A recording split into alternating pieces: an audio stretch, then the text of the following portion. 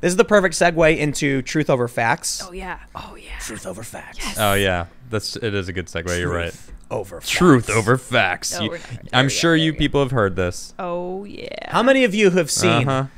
the epic Truth Over Facts?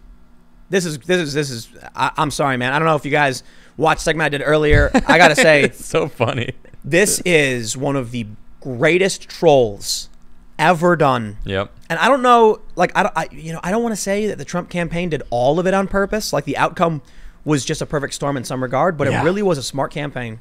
Yep. Let me give you the gist. They nailed it. This is a website called thetruthoverfacts.com. When you go there, you see a very confused looking Joe Biden. Actually, several of them. And it says Joe Biden files text truth I'm gonna do that. text truth to 88022 if you have any tips related to discovery of truth over facts paid for by Donald J Trump.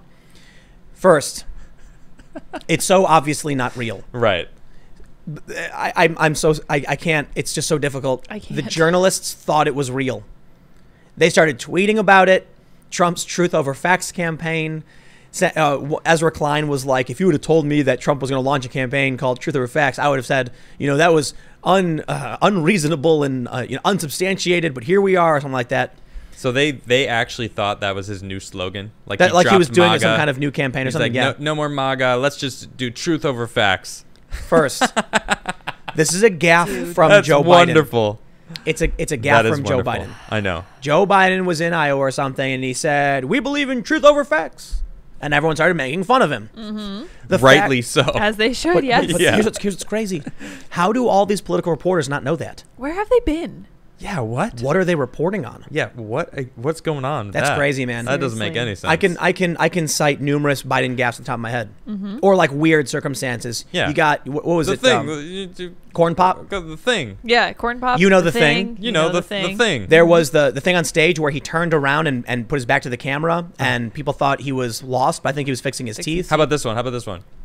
The where he almost where it looked like he fell asleep on fell asleep on TV. That was my favorite. Yeah, that, that one. You got oh, it. Yeah, There yeah, was- got See? it. There was the That's the 20 easiest one to do. the 21 second clip where he sputtered and muttered randomly on CNN. It's like I if you if you pointed these things out to me, I'd be like, I remember that. Leg yeah. hair. Yep. Mm-hmm. the leg hair thing. Oh, the kids, gosh, yeah. they make Oh, cartoons about it. I try to forget that part. I know. actually. I Truth totally over facts it out thing? One of the ones I don't want to the leg hairs remember. thing, yeah. There's I, I I just learned this though the the Winston Churchill thing I didn't know. Oh Yeah, I my didn't notice god! that. Did you- That's embarrassing. Did you know, for those of you listening, did you know that at a, at a CN, uh, it was a PBS debate, that someone said to Joe Biden, at the end of your first term, you'll be 82. You will be the oldest president in U.S. history. He says, what about Winston Churchill? And he didn't. He didn't hesitate at all. No. He he was like, He's ready." What about Winston Churchill?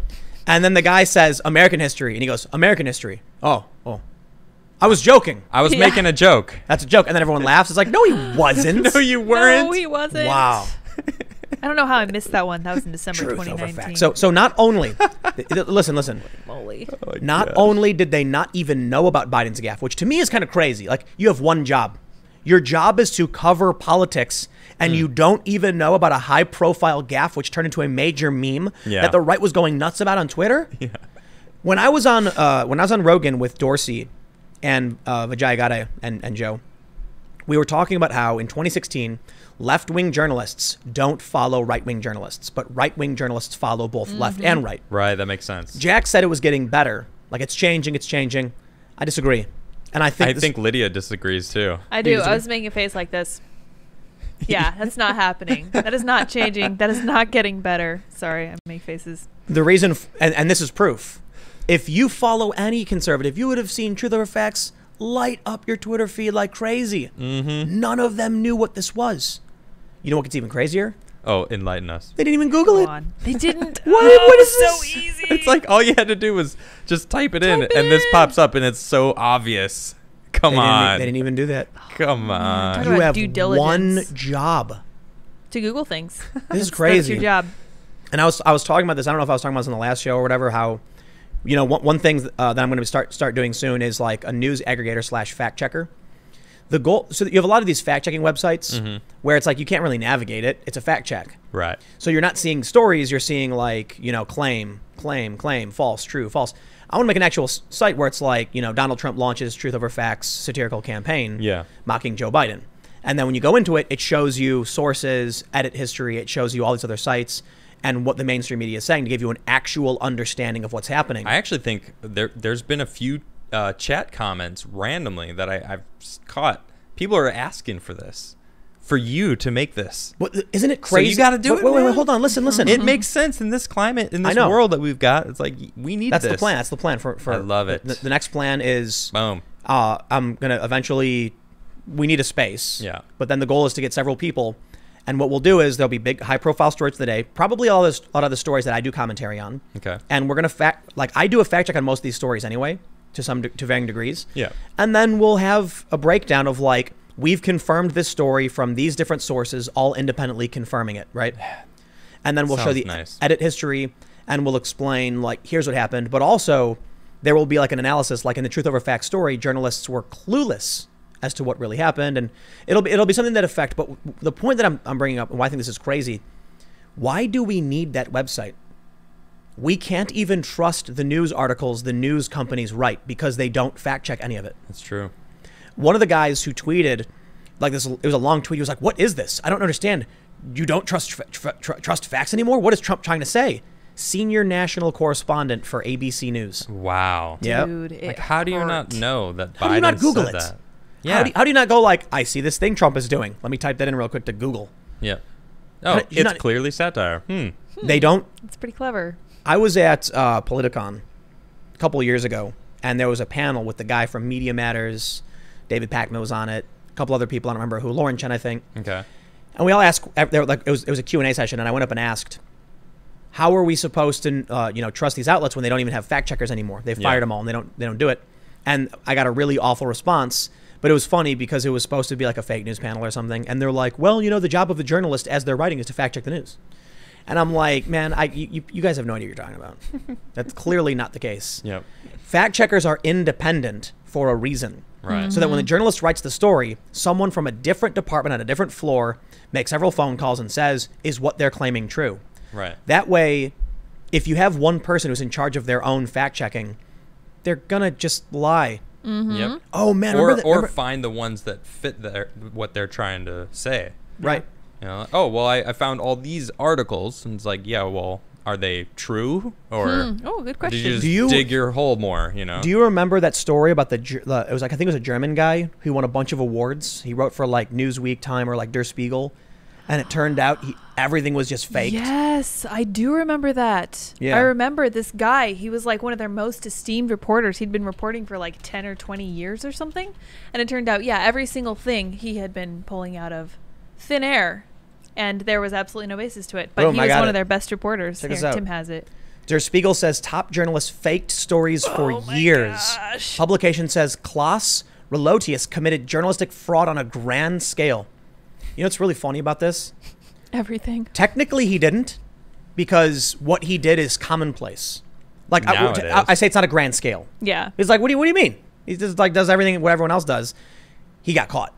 That's what it really is. Poor fool. It's funny because I remember when the story was coming out, people were like, "Why would a journalist make up sources and lie? That I makes no sense." it makes absolutely no sense. well, when you win a, you know, wh- what does the Pulitzer Prize pay? Like ten grand? It, it definitely pays money. I don't It know does? how much. I think so. I think it pays ten grand. I'm gonna I'm gonna Google it. I got this.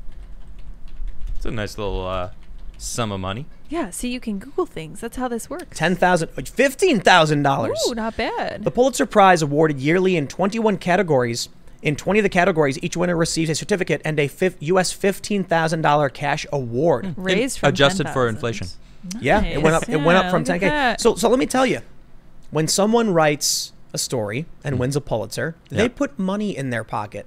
Hmm. Come on, man! It's so obvious why they write fake news. You can't monetize this. the first reason you make money, man. Sweet, sweet Skrilla baby. Mm-hmm. You write a fake story. Adam Crigler does a triple backflip off the back porch. Wow. Boom! One true. million views. Good job, true. Adam. It's Adam will fact check this Triple, for us. trip, was the best. the best backflip, Best triple backflip backflip. you've ever seen.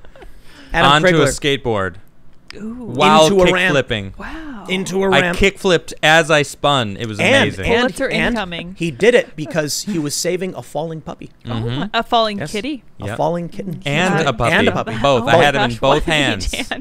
So here, you, you write a story like that. Can someone do put- that picture, please? You That'd do be you, amazing. you, Please you do a, ridic- picture. you, a ridiculous picture. You fit the narrative. Mhm. They're clever about it, but you'll get all these tr- you'll, you get all these hits. You sell all these ads. You make all this money, yep. and then the next day you say, "Oopsie, Oops. we, Oh, did, we sorry. did an oopsie." Listen, Whoopsie. by triple backflip catching a dog and a cat, I meant I fell.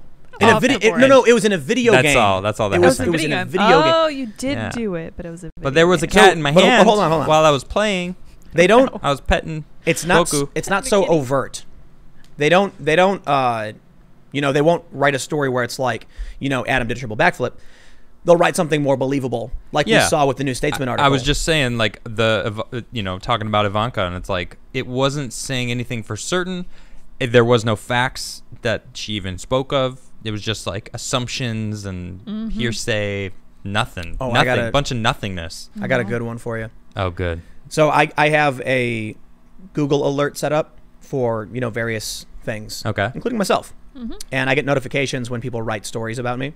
Okay. One of them was a journalistic advisory website, Mm-hmm. and it was written by this left-wing activist posing as a journalist who tried to get the Proud Boys banned from their banking institution. Successfully, actually, did get the Proud Boys banned.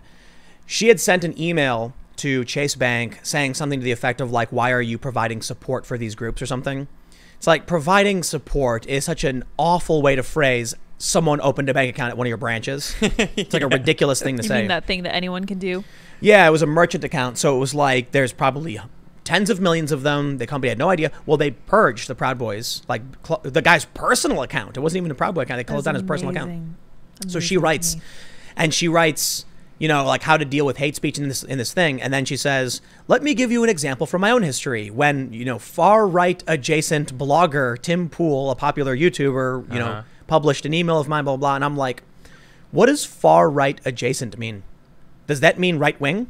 Does that mean just regular right wing? Why Yeah. would you write far right adjacent instead of right?" Adjacent Well, means next. I think to. it means Right. you're you're in the Yeah. center, which is next to the right. right. Next to the right. Yeah. You're also far left adjacent then at the same No, no, time so- because you're in the middle. Correct. Yeah, but we don't talk about that. The, the the the right is adjacent to center right and far right. Okay. So if you're far right adjacent, the only thing you could possibly is right possibly be is right. There's nowhere further to go. So the reason she wrote far right adjacent is to make it sound more ominous. Yeah.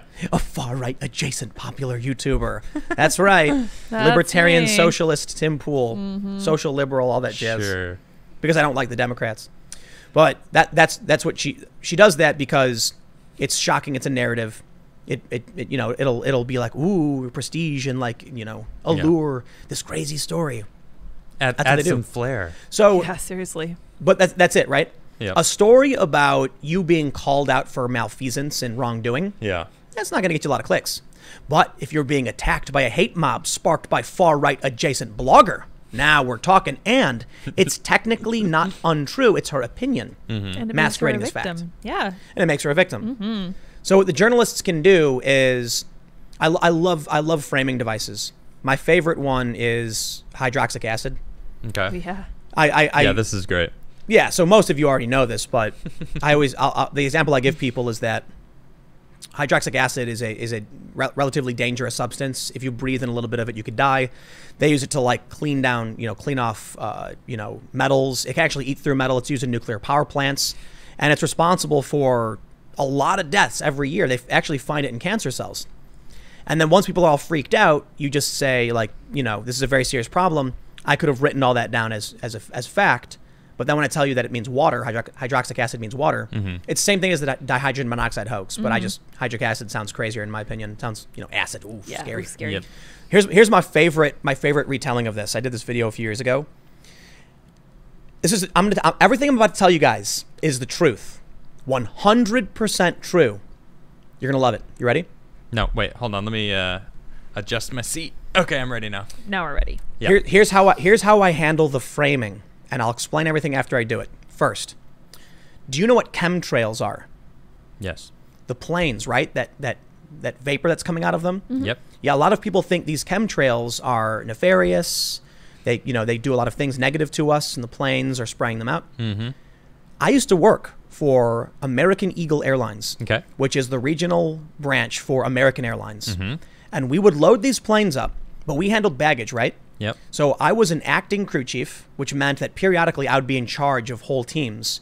But you know, it's like a mix. It's like you're not quite a crew chief or you're in charge, but you're you're one step up from a regular crew member. Okay. And there would be people who would come out in big vehicles and pull out a hose, hook it into the plane, and pump in hydroxic acid into these planes. Now, this is a chemical. It's serious, right? Oh my god. It's Sounds like a hydroxic- chemical. the truth. comes Hydroxic out. acid is pumped into these planes. 100% true, by the way. 100% true. 100%. I watched 100%. them. I watched them do this. Yep. Okay. Mm-hmm. And I didn't know what the point of putting this hydroxic, hydroxic acid in the plane was, and that's true. This is true, and I'll explain. And so, this this stuff is used in nuclear power plants. It can eat through metal. It's found in cancer cells. If you breathe in even a little bit, you die. Yep. And so let, let let me tell you though, I know this for a fact. When you see those planes flying, when you see a plane flying and you see that vapor trail coming out, that is vaporized hydroxic acid coming out the back of that plane. The truth. That's a fact. Oh, man. Bum, That is bum, 100% true. It is a vapor of it. Oh man, I'm That's scared. it's, it's that's I, I can confirm this as Yeah. somebody who worked for the airport. Thank you, Tim. Thank own you. eyes. So I I, really I, I used it. I God's used work. so I did I did you. several things in here. Mm-hmm. I used framing devices to make it sound ominous. Yep. And I used assumptive language to make you draw connections I never said. I never said the vapor coming out of the plane was the was the same stuff they loaded into it. I said they put it in the plane, and when you look look up and see it, that vapor coming out is hydroxic, hydroxic acid. That makes the average person assume it's the chemical they put in the plane. It's not. The contrail comes from condensation, and when it you know pulls in water vapor and then pushes it out in a vapor cloud, so it is vaporized hydro- water. When I said I saw people do it, I didn't know what the water was used for. That's that's 100% true. Yep. They put water in that plane. I don't know what it was for, because you couldn't drink it. I'm assuming it may maybe for washing your hands. I have no idea. Yep. I did work there. It is dangerous. I framed it in a way that made it scary as possible, but I, I left gaps in to make you assume the worst that they You were doing it for nefarious blanks. reasons. I started the story by saying people believe they do these things for nefarious means to start the story off on some scary way. Hmm. So by the time it's done, I say, I can confirm this, man. I watched them do it. And I don't know what they were doing or why. But that stuff can be dangerous. And then the average person walks away saying, Whoa, dude. That's framing. You know what that is? manipulative? Storytelling. That's truth over facts. That's right. I, I, I, I, I act, there's a good point to be made about truth over facts. It's don't- I don't- great. I, love that I line. It's funny. But I don't know if, um I think it's the other way around. facts over truth. Right. That is. Everything I told you was a fact. Right. But Yeah, not the true. truth. Mm. I was giving you facts to deceive you. Right. This is the craziest thing about how news operates. So these stories, like like the story we saw about Ivanka Trump, they will tell you the truth about certain things Mm-hmm. and connect things in weird ways that make no sense. Do you think maybe that's what Biden was actually saying? No.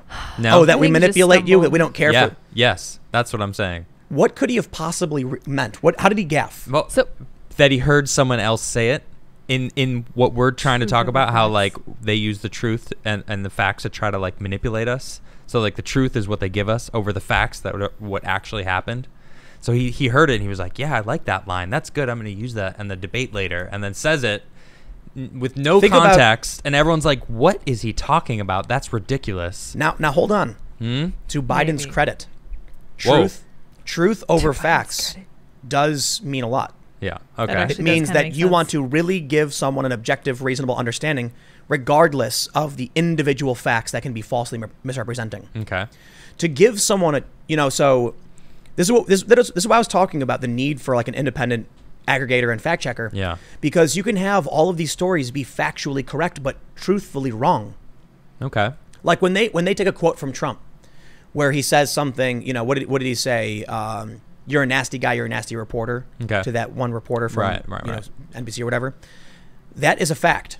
But the truth of the matter was more complex. The guy had been goading Trump on For a while, and no matter what Trump had said, he had countered in the, in the opposite. So Trump snapped and called him nasty. If you really want someone to understand what happened and why Trump said that, Mm-hmm. the truth of the matter was actually broad. It's funny because uh, people thought that with YouTube, when, with digit with online video, we'd have facts to prove everything, mm-hmm. Yeah. and now it's like. Oh, so here, here's here's actually another really great, really great example of what they've tried doing to me. There was a story that came out, and the New York Times wrote about it, and Fox wrote about it.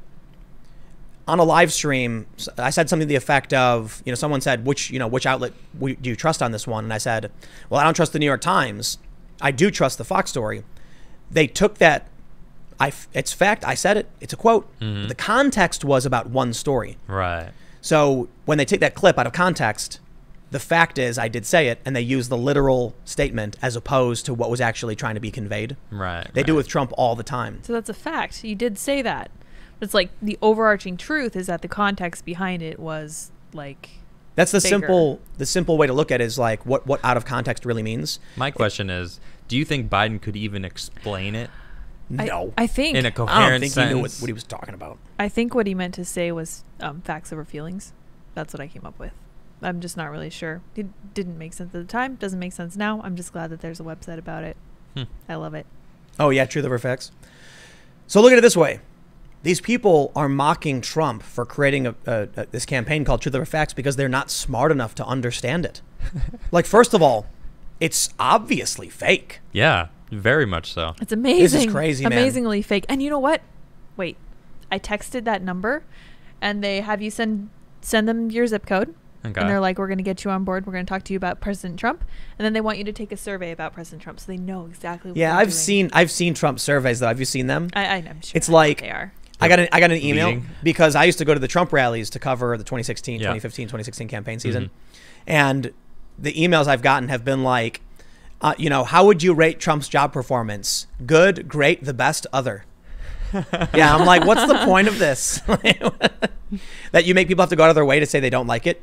It could be um, anchoring, make someone click, he's doing a good job Yeah. and then they'll like they'll affirm it like, well, I think he's doing a good job. That could be it, maybe I don't know, or it's just Trump, you know, I'm the best. Yep. You know, it's always great. You know, whatever. I have I have I have a question though. I, I was I've been wondering this. We've we've kind of broached the subject in some of the past podcasts. Is the left just becoming people who don't they're not smart? You know what I mean? Like certainly there are smart leftists. They're just You know what I mean? surrounded. See, the thing is that, like you said it earlier, all right, the left, they don't follow the right.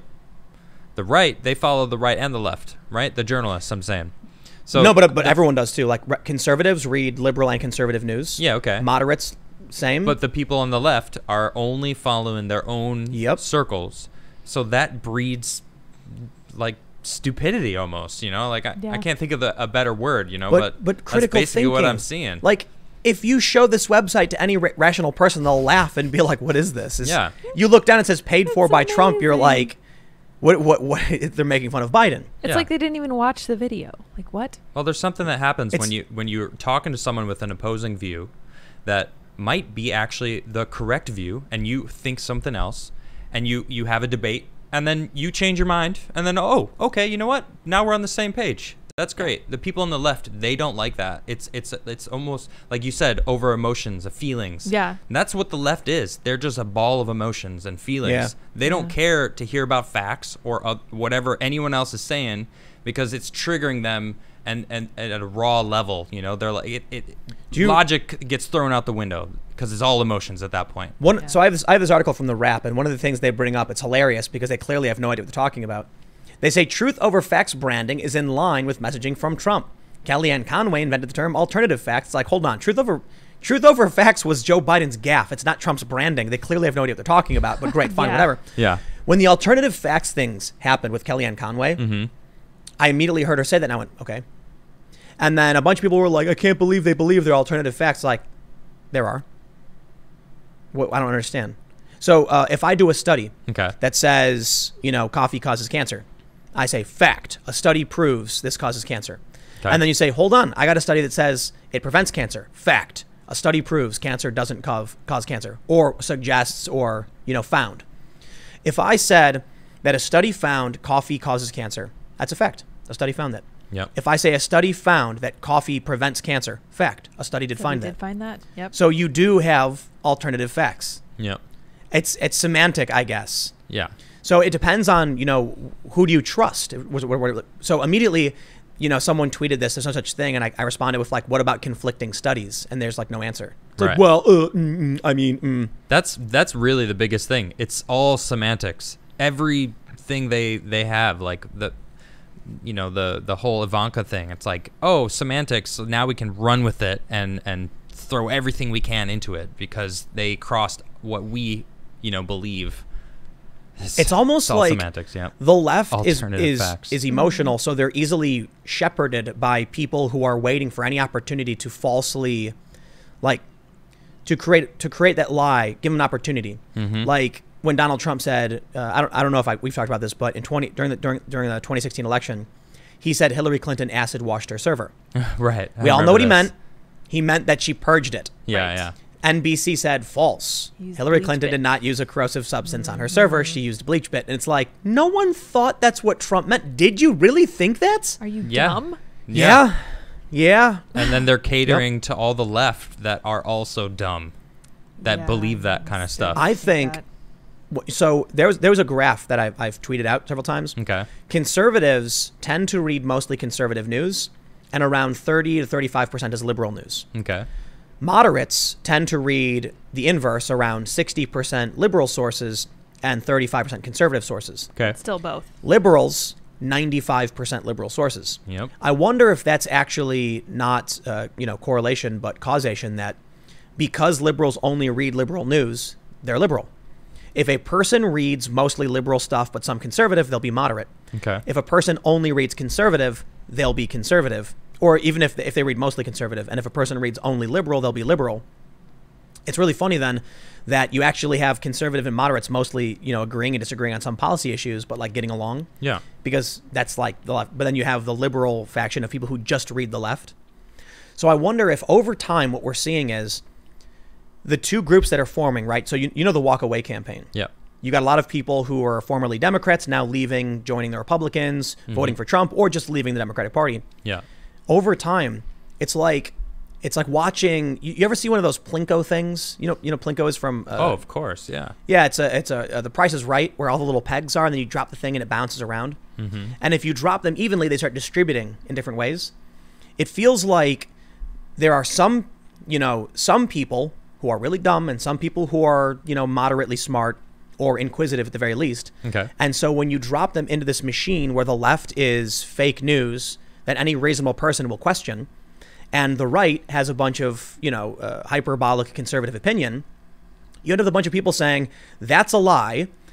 That's their opinion. I'm okay with their opinion. I disagree. I'll go read this. And then you have the dumb people being like, derp, that's the truth. Burp, that's the truth. So the dumb people are being filtered into the dumb section. Yeah, and basically. Inquisitive people are arguing over the opinions of people. And, right? And enlightening themselves, Yeah. essentially. Well, they're being forced to argue be- among Yeah, themselves. And that's what how you become more enlightened Right, by, exactly. by Well, hearing other. discussing. Yeah, well, I mean, even if you are, end up being right in the long run, you're still you still had to prove your point. you You can, to listen you to can still someone pick up bad ideas. Learning more about it. Yeah. You can still pick up bad ideas. That's that's true. But it's an issue of do I blindly just believe whatever I'm told? Or actually, it's not even that. The, the, the truth over facts is the perfect explanation, the perfect example. yeah. Take two people. One person is of average intelligence, moderately inquisitive, and they see this and they go, What is this? Uh, It's like truth over facts. Why does Biden look so dumb? Oh, Donald Trump paid for it. Is this like Trump making fun of Biden? Then you, take, then you take a dumb person and they go, Duh, Joe Biden. Whoa, that's crazy. Whoa, that that's a Joe Rogan quote. What? Oh, you know what I mean. It was way Joe too close, Rogan man. quote. What I mean is, you show someone this Ivanka New Statesman article. Mm-hmm. A reasonable person is going to be like, uh, but she only tweeted the word taken. Like, what? That's our only source. Elon Musk isn't a white supremacist. This doesn't make sense. No, it makes Let me no let me. Google this. And there's no other facts, nothing else. It's Let- such let- a silly article. a reasonable person Yeah. says like, I'm gonna, I'm going to ask someone about this. Did you see that story about Elon? Is that true? That sounds weird. I don't I don't I don't know if I Right. believe that. Then you get the other person. They go, whoa, she's a Nazi. I knew it. and everyone that's taken the red pill is also a Nazi. Yep. And I knew And that an too. And eco-fascist. then Yes. here's the best part: the dumb people go on Twitter and they wiggle their arms and they're going. yes, just like the turkeys. And the Democrat politicians see them, they go, I guess that's what they want. Oh. And then people like me and like you and mm-hmm. like Lydia and the walk away people are like, no, Like, stop, why are you doing that Why are wavy you doing this? The gu- turkey thing? I don't even know. The wavy turkey thing. yeah, Yes. yeah, I can't They're do just all it as running well around as and you going with their Thank arms you. wiggling in the Yeah, airs. Yeah, that. yes, that. They have no idea what's going on, what they're talking about. Oh my and so God. you end up with people having no choice. But like, if you've got one person on the left and it's like, why should I appoint you? And they're going, well, I'll lie to you. I'm lying to all of them. Mm-hmm.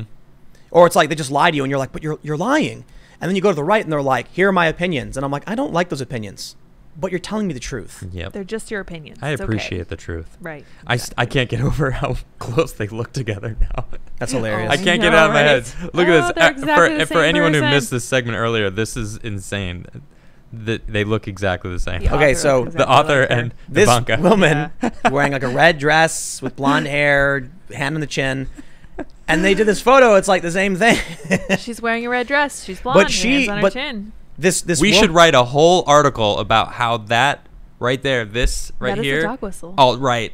Yep. Yeah. Yep. You're- Look you're at all Ivanka. right, She's Sarah. doing the same Manavis. thing. Oh, who knew? Manavis, M- Oh, is that- whatever it Mana- is. oh, no. Manavis. Manavis. Manavi. I don't know. Whatever sounds cooler, I guess. Yeah, Or whatever. sounds stupid. I see M A N Manavis. A. I think mana. Manavis? because- because Yeah. of Final Fantasy and stuff. Is this the weirdest thing ever?